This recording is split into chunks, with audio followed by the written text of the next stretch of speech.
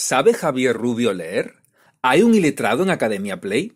Este tuit manipulador, en el que se sacaba un fragmento de mi anterior vídeo de contexto, fue secundado, como no, por Javier Rubio, a quien le encanta coger de redes sociales fragmentos de vídeos descontextualizados para acusar de actividades prorrusas a quien a él le da la gana. En él, Javier Rubio aportó varios documentos que supuestamente le respaldaban y me ha llamado cuñado porque, según él, aquí dice claramente que Rusia sí se compromete a aceptar la expansión de la OTAN. La única parte en la que este párrafo habla de expansión dice literalmente la OTAN ha expandido y seguirá expandiendo sus funciones políticas y ha asumido nuevas misiones de mantenimiento de la paz y gestión de la crisis en apoyo a las Naciones Unidas y la Organización para la Seguridad y Cooperación en Europa. ¿Dónde está ahí la expansión de la OTAN? En la imaginación de Javier Rubio. Expandir funciones políticas y asumir nuevas misiones no es aceptar nuevos miembros. En ninguna parte de este párrafo se habla ni remotamente de aceptar nuevos miembros. Mira que podría haber escogido otros párrafos mejores, pero en lugar de eso me acusa de ser un cuñado manipulador solo porque no imagino las mismas cosas que él imagina cuando lee. Y no es la única vez que lo hace. En este otro texto que comparte tampoco se habla de una expansión de la OTAN, sino que se habla de que la OTAN continuará su transformación. Y transformar no necesariamente es expandir. Y claro, luego se junta el hambre con las ganas de comer, porque Javier Rubio se basa en textos que igualmente interpretan lo que les da la gana. Y este sin duda se lleva la palma, pues dice que Rusia se compromete a no retrasar, limitar o diluir la apertura de la OTAN para el ingreso de nuevos miembros. Sin embargo, el texto original de la web de la OTAN dice que es el acta fundacional quien no retrasa, ni limita, ni diluye la apertura de la OTAN para el ingreso de nuevos miembros. Es decir, que el acta no afecta a esas cuestiones. El autor el doctor Van Bladel ha copiado y pegado la misma frase cambiando el acta fundacional con Rusia por Rusia acordó seguir los siguientes principios. Por lo que parece que Javier Rubio no es el único que no sabe leer, tampoco el doctor Van Bladel.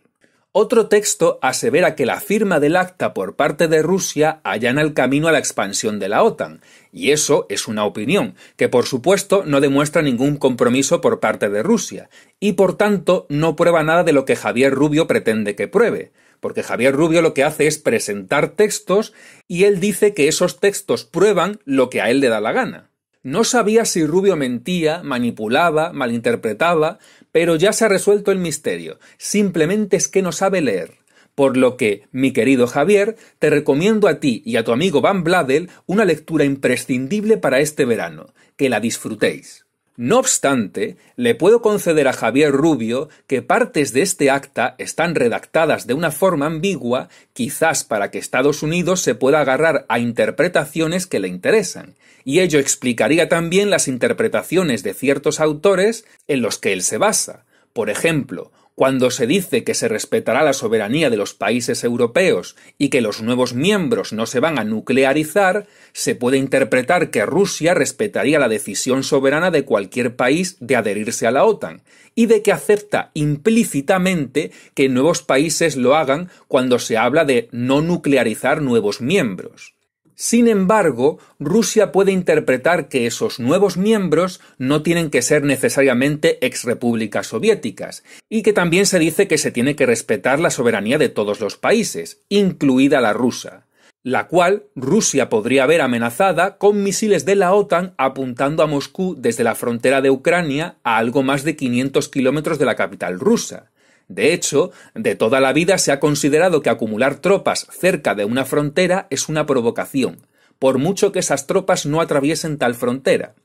Estados Unidos mismamente no respetó la decisión soberana de Cuba de acoger misiles rusos, y se lo impidió llevando tropas. El compromiso solo puede existir si se enuncia explícitamente, porque si Rusia se compromete a permitir la expansión de la OTAN, ¿por qué no se pone de forma explícita? Pues obviamente porque Rusia no la está consintiendo. Y como el texto tiene esa ambigüedad, pues cada doctor o profesor hace la interpretación que le da la gana, más aún los que no saben leer. En este sentido, hay que resaltar que el acta solo menciona las palabras nuevos miembros una sola vez en la cuestión de la no nuclearización. Además, recuerdo que el mismo Boris Yeltsin dijo el día que firmó el acta que Rusia ve negativamente la expansión de la OTAN. Por si esto fuera poco, un informe de la misma OTAN dice que Rusia, pese a reconocer la expansión de esta alianza, declara no haber firmado consentir la adhesión de repúblicas exsoviéticas y que si tal adhesión ocurriera, Rusia anularía ese acta. Este informe fue realizado entre el año 98 y 2000, poco después de la firma del acta entre la OTAN y Rusia en 1997. Conclusión poner cláusulas que cada parte pueda interpretar como quiera y sin que exista ningún compromiso explícito no supone en ningún caso un compromiso. Y con esto me despido y me alegro mucho de que a Javier Rubio le haya gustado tanto mi montaje que se lo haya puesto de foto de perfil. Así, ahora ya sí que ha salido del armario y se vende tal cual es, un sumiso pro yankee. A ver si para el 4 de julio le llaman para algún evento de youtubers por la yanquidad.